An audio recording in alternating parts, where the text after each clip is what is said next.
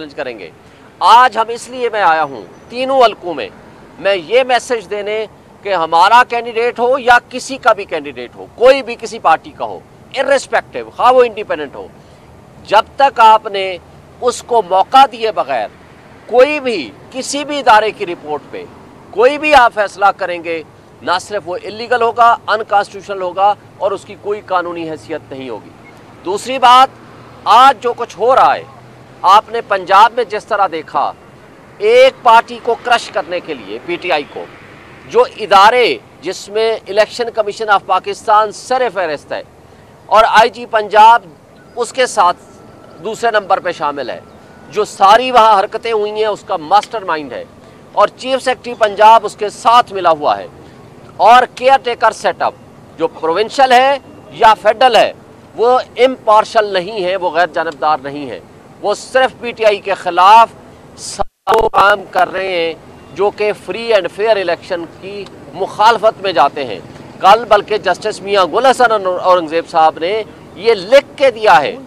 एक तो मौजूदा चेयरमैन फॉर्मर चेयरमैन से करने का हुक्म दिया, दूसरा एडिशनल एडिशनल अटॉर्नी जनरल और एडवोकेट जनरल के स्टेटमेंट के ऊपर उन्होंने ये कहा कि इसका मतलब है कि आपकी केयर टेकर्स जो सेटअप हैं वो इम्पार्शल नहीं है, जबकि उनको होना और इस तरह एक सर्टिफाई कर दिया कोर्ट के आर्डर के ज़रिए।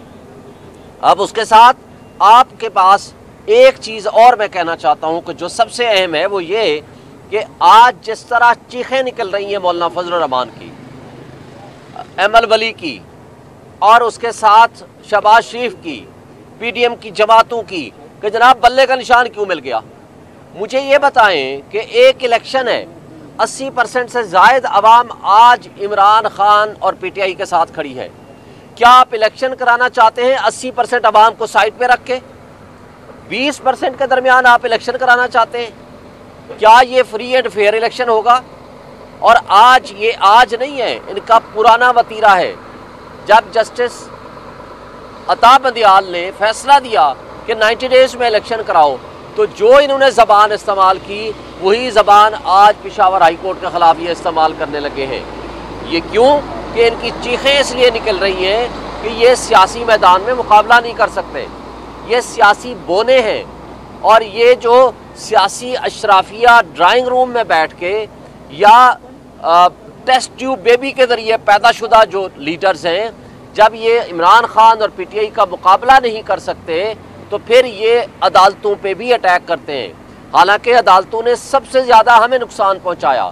जिस तरह कंप्रोमाइज जज मुतासब जज हुमायूं दिलावर ने फैसला किया, क्या कानून की नज़र में उस फैसले की कोई अहमियत है? और फिर आपने देखा जिस तरह अबुल हसनात जुलकरनैन रोज़ ऐसे फैसले करता है, जो कि आपने देखा सुप्रीम कोर्ट ने साइफर केस में क्या ऑब्जर्वेशन दी। और जस्टिस मियाँ गुलसन औरंगज़ेब साहब की कोर्ट में मैटर पेंडिंग है। और जज साहब ने उनके खिलाफ फैसले दे दिए। तो इस तरह की जजेस से हम एग्रीव्ड हैं, लेकिन फिर भी हम इज़्ज़त व एहतराम के साथ चीज़ों को लेके चलते हैं। लेकिन हम ये कहते हैं कि इस वक्त पाकिस्तान की बका के लिए ज़रूरी है कि आप फ्री एंड फेयर इलेक्शन कराएँ और हर एक को मौका दें, जिसको आवाम मंतखब करे, उसको हक हुक्म बनानी दे।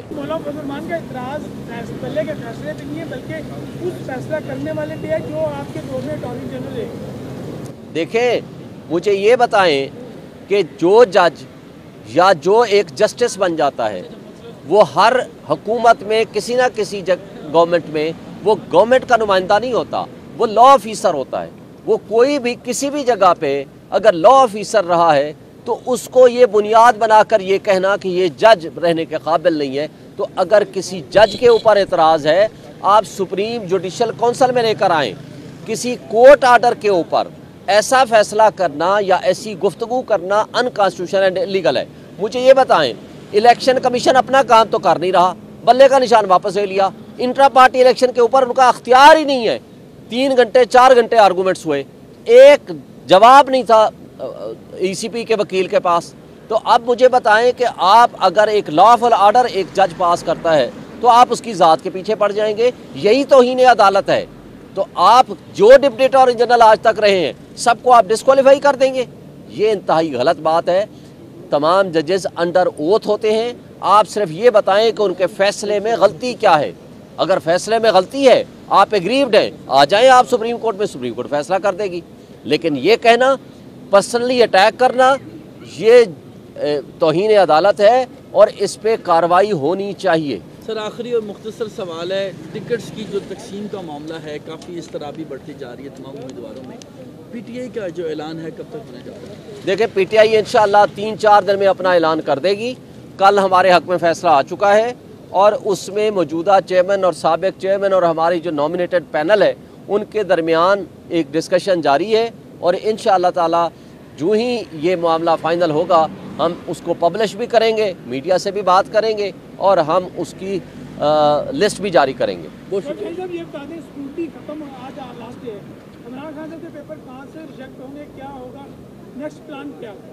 देखिए इमरान खान साहब के पेपर एक्सेप्ट हो गए हैं। हमारी इन्फॉर्मेशन के मुताबिक मियाँ वाली से और मेरा ख्याल लाहौर से भी हो जाएँगे। और अगर ये रिजेक्ट करने की कोशिश करेंगे तो हमारे पास राइट है ऑफ़ अपील है। लेकिन ये कर नहीं सकते, ये इलीगल होगा अगर ये करेंगे।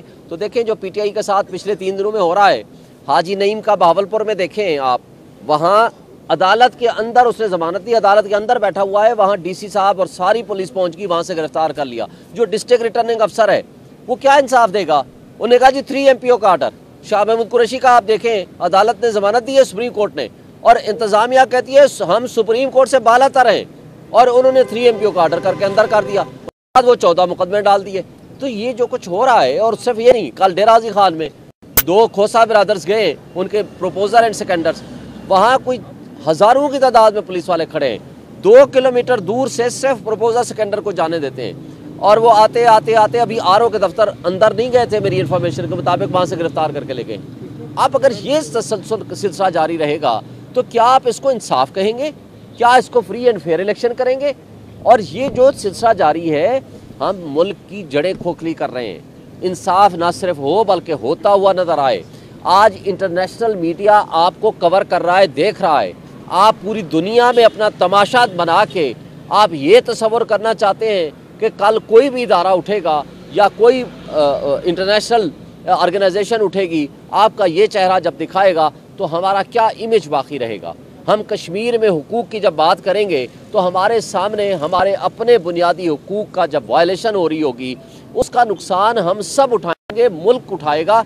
इसलिए हम कहते हैं, आज भी वक्त है, अपने तमाम स्टेक होल्डर्स अदलिया, हमारी इस्टेब्लिशमेंट इन चीज़ों को देखे इलेक्शन कमीशन देखे, चीज़ों को दुरुस्त करे, जिस जिस जगह पे ख़राबियाँ हैं। और अगर ये दुरुस्त नहीं करेंगे तो हम अपने नुकसान, अपने मुल्क का, अपने इदारों का, अपनी 25 करोड़ आवाम का करेंगे।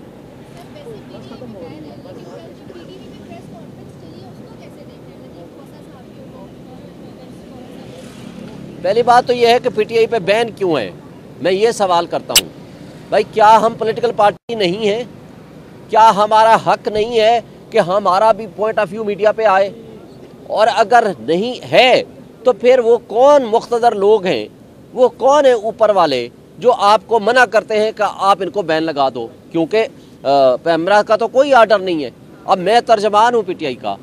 मुझ, मैं मीडिया पे नहीं आ सकता प्रोग्राम नहीं कर सकता। किसी भी प्रोग्राम का आपका प्रोड्यूसर आपका एंकर पर्सन मुझे नहीं बुला सकता कि जी ऊपर से हुक्म है। अब किसका हुक्म है? ये अल्लाह और मखलूक के दरमियान कौन है जो जिसका हुक्म चलता है? या अल्लाह का हुक्म चलना चाहिए या मखलूक का हुक्म, कोई कानून, कायदे के मुताबिक चलना चाहिए। जो वो वो क्या कहते हैं ना? हम आ भी करते हैं तो हो जाते हैं बदनाम, वो कत्ल भी करते हैं तो चर्चा नहीं होता। भाई, हमारी आहें थी, हमने सुनाई, मेहरबानी है इलेक्ट्रॉनिक मीडिया की, उन्होंने हमारी आहें सुना दी।